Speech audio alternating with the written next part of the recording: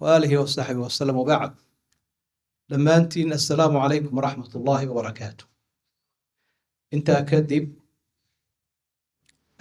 ilaahay baynu u mahadnaqaynaa subxaanahu wa tacaala wax badan badan badan oo nicmo buu ina siiyey oy kow ka tahay nicmada islaamnimada iyo iimaanku nicmada nabadgelyada nicmada dadka iyo dunyada nicmada cilmiga min haadihi nicam nicmooyinkaa waxaa ka mid a horumarka insaanku uu gaadhay. Ilaahay baana u furaa callama alinsaana maa lam yaclam. Waa imtinaan. Ilaahay baa inoogu mana sheeganaya. Ilaahay wuxu uhi insaanka wuxuu baray. Waxaanu aqoonin. Wa yakhluqu maa laa taclamuun waxaydaan garanaynin baa ilaahay u abuuri doona maanta waxyaabahan aynu hayna haddii waktigii nebiga dadka qaar loo sheegi lahaa inay ka gaaloobi lahayn baa laga yaabaa.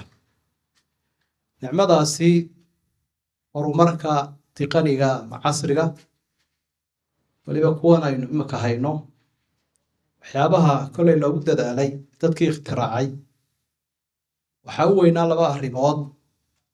In waktigana lagu marxiyo dhaqaalahana lagu marxiyo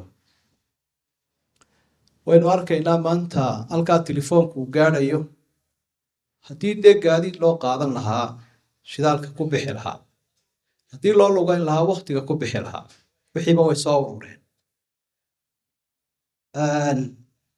waxaa looga faa'iidaysan karaa wax aada u fara badan oo khayr leh oo diin iyo dunyaba leh.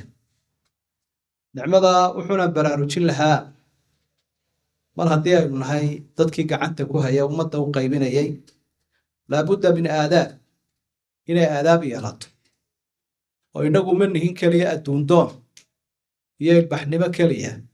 Laakiin waxaynu wadnoo dami raalli noqoshaha ilaahay bay u adeegayaan marka inaynu ilaahay ku raalli gelino ayaa laga maarmaana. Internetka iyo aadaabtiisa telefoonka iyo aadaabtiisa lisalaamatik nabadgelyadiisa. Waxaasoo dhan waxaan ku talin lahaa sida qolada suuqgeyntu ay u soconayaan sidii bahalkan uu hirgeli lahaa iyo sidii loo iibsan lahaa iyo sidii loo baahin lahaa.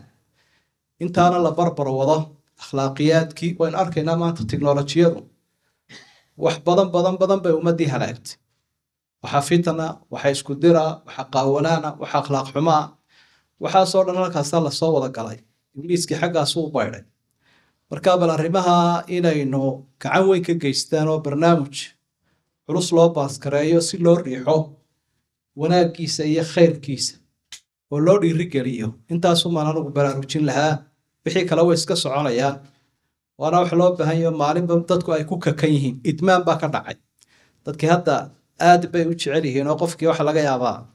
Dee inuu gacantiisa inuu ka waayaa ay ku adkaataba.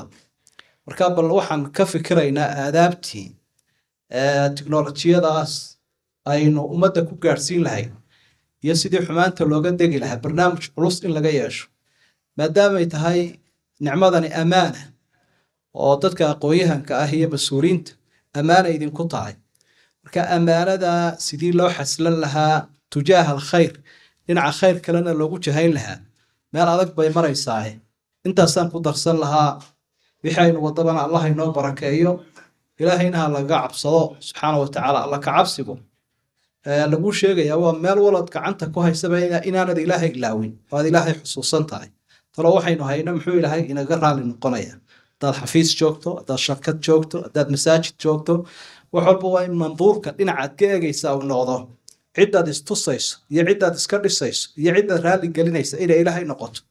Waxaana hubaala hadduu ilaahay inaga raali noqdo cid waliba raalli bay noqon. Ka kuu cadhaysan baa raalli noqonaya cadowga haddaad ilaahay ka sii jeestaan cid kale raalli gelisana kuwa kalena wuu kugu diraya lianna alquluuba biyadi illaah qalbiga ilaahay baa haya subxaana wa tacaala marka qodobkaasoon isle hadda waa xasaasi casrigana dhib badan baa ka taagan qodobkaasu baan odhan lahaa mas'uuliyiintiina iyo mutacalimiintuba in aad la ysaga xil saaro la yidhaahdo waxaaya waxaasaa jiro mashaakilehe maxaynu kaga xaslan karnaa ummadeeda ummaddeena iyo jiilkan la sheegaya shanaad iyo lixaad iyo toddobaad jiilkaasi. Ma waxaanunbaa la waraabinaya mise waa loo meel aad baa u mahadsanti. Asalaamu calaykum waraxmatullahi wabarakaatu